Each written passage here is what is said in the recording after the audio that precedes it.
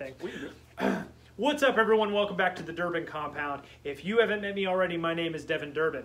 Also, if you haven't met Jonathan, this is Jonathan from Always Up Too Late. I'll put his logo right here. Uh, look right in front of his face, like Right this. Okay. Um, you know, somebody actually did give me crap because I said "What's up" when in the in the beginning of the video. It was like Really? he said, "Way to be original." Like everybody does that. I don't know anybody, any other body's YouTube that does "What's up" at the at the beginning. But whatever, neither, neither, neither here nor there. uh, I digress. What we're going to do tonight is a spark plug change on the W205. So. Um, Jonathan has a video on the W204. He kind of inspired this, and I said, wow, I haven't changed my spark plugs in a while. So I'm a little due for spark plugs on my car, but don't tell Mercedes uh, that I let it lapse a little bit. But we're going to do the spark plugs tonight. Uh, if you're uh, looking at the W205 spark plug, spark plug replacement and you want to see how it's done, stay tuned.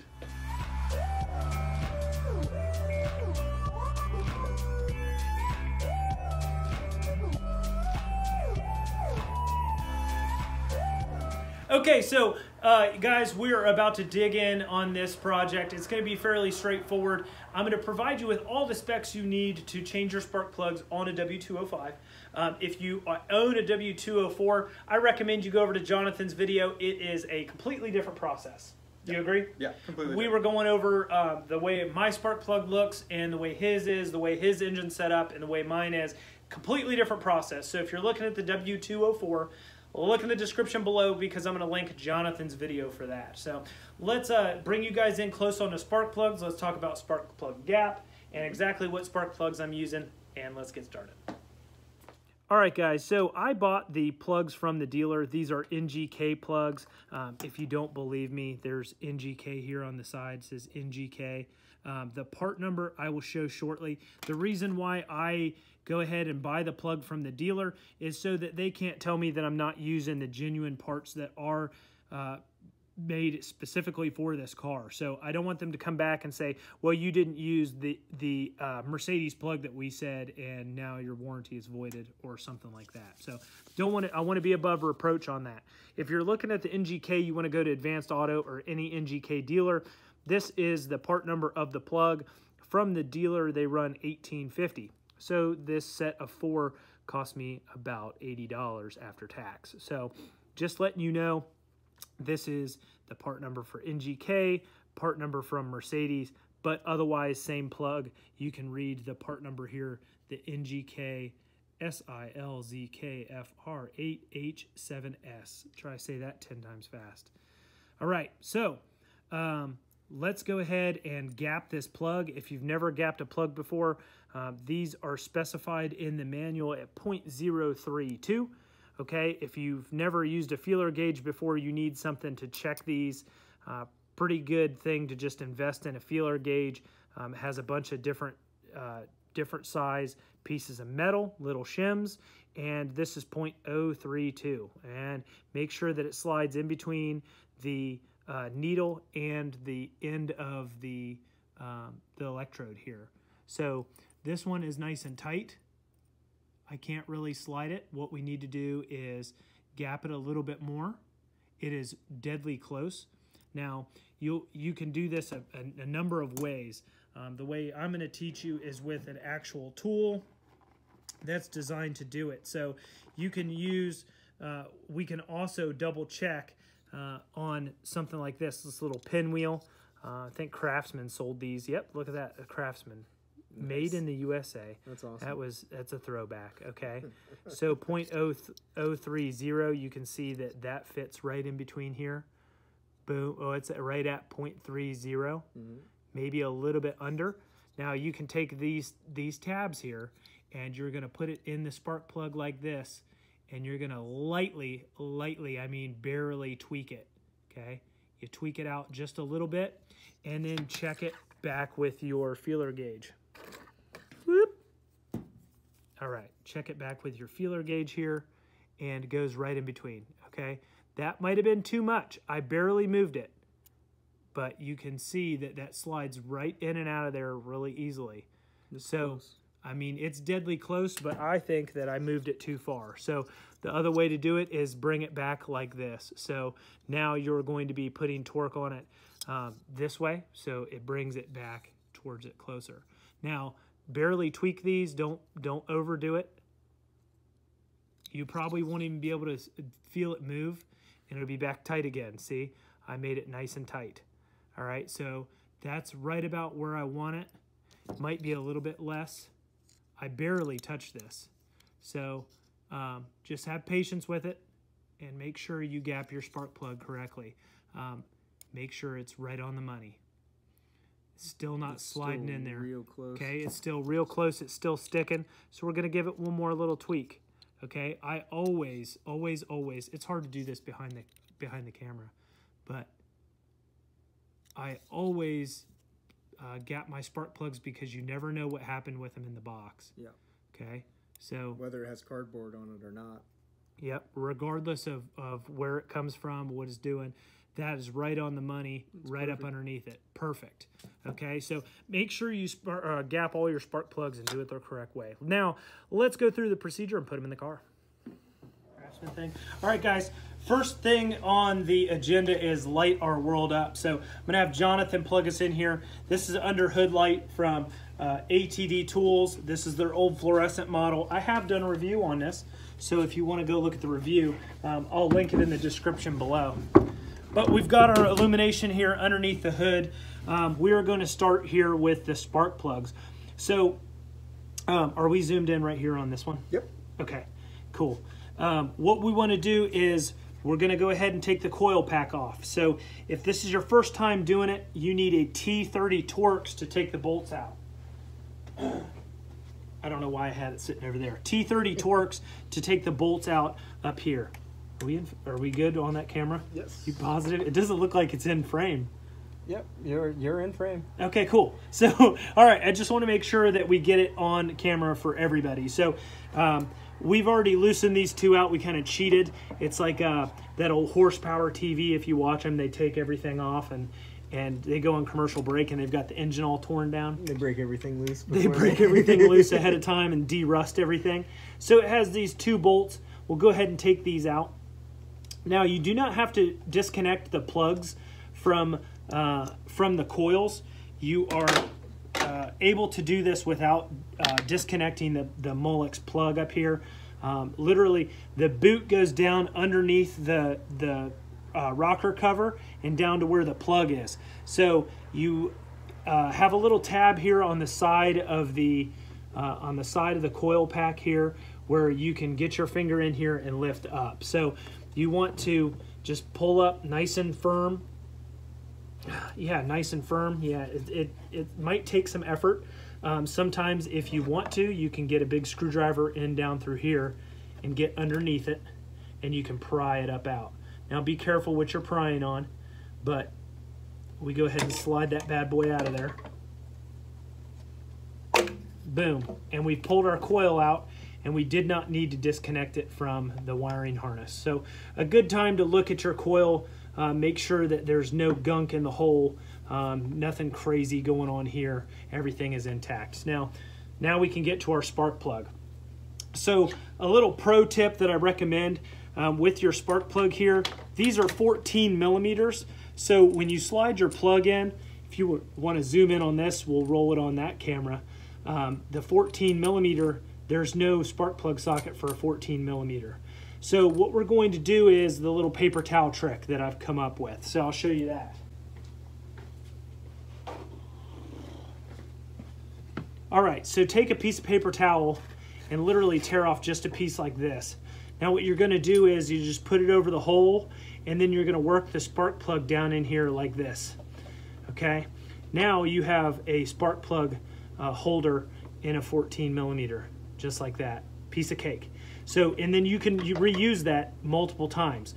Now I've made this, so now when we go ahead and put it on the spark plug down on the block, we will loosen it out and it will hold the spark plug in it. In theory, best case scenario, but we'll go ahead and do that now.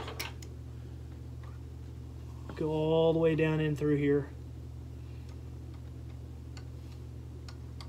All right, so maybe the paper towel is going to fight me along the sides of that. Okay, the paper towel fought me there, so I went ahead and took it out.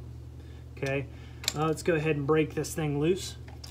Now, I always install my uh, spark plugs with anti-seize in them, uh, or on them, should I say, not in them. Some people pack them full of anti-seize, but I literally put anti-seize on the threads so that I can easily take them out next time. So it has been about 60,000 miles since I took them out last time. So I've been overdue, but not that big of a deal. I always like the anti-seize on the threads because there's a good chance I'm the one that's gonna have to replace them the next time. Yeah, buddy. Always, uh, always trying to look out for future me. Yeah, that's a true story. All right, we're close to getting that out. The threads on these are incredibly long, so have some patience and do it the right way. That should be it. All right, so now you can maybe reach your hand down in here. Um, if you can't get it, there's always a pair of long reach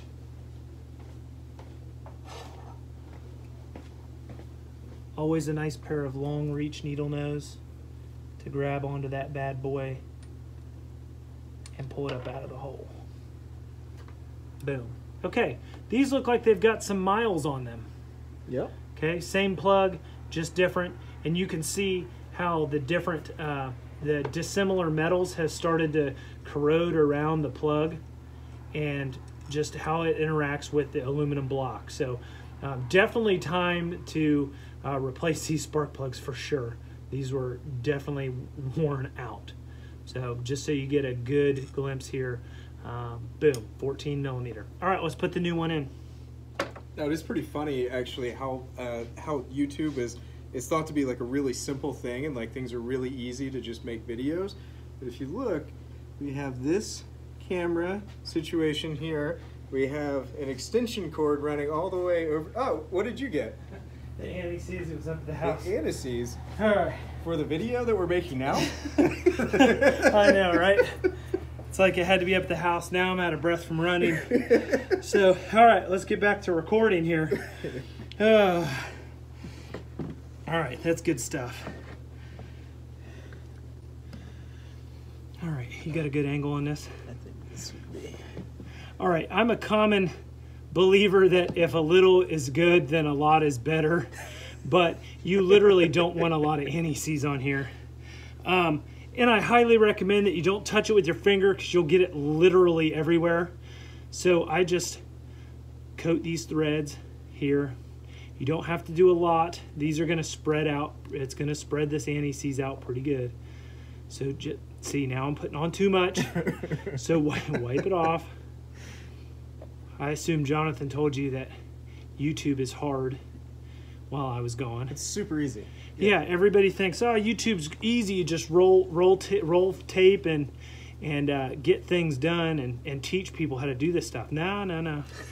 It's uh, we we strive to bring you 100% uh, good content that is absolutely um, the right information. I'd hate for you guys. See, I got anti-seize on my fingers and it's everywhere. That's So- gonna follow you everywhere. Yep, and it's going to. So now my paper towel is not going to work. So I need to fish out my old paper towel here. So we're going to try the paper towel trick one more time. The space in the head is not big enough to allow the paper towel to squeeze down beside the socket. So it ha- the paper towel has to be 100% inside the socket for it to work. So there's only enough room for the socket itself, and Right. The paper towel, if it's on the outside, it will bind us up. But see, I put the paper towel in the socket so that it holds my holds my spark plug, so we can put it down in the hole. Boom. All right. Now we go back down in here and fish it nice and slow. Now, remember when you're installing installing the spark plug, you it is easy to bang the end of that spark plug against stuff and close your gap. So remember that. Always remember that you don't want to bang that against anything. Be very, very careful. And then we start threading it down in the hole. And you should be able to feel it when the anti-seize starts getting fully coated. It'll start nice and firm here. All right, almost there. Time to put my ratchet on here and get it ran down. So Jonathan already looked up our torques here. Um, I think it was 18 nanometers. Mm-hmm. Okay, so what we're gonna do is get the torque wrench out and we'll torque this to 18 nanometers.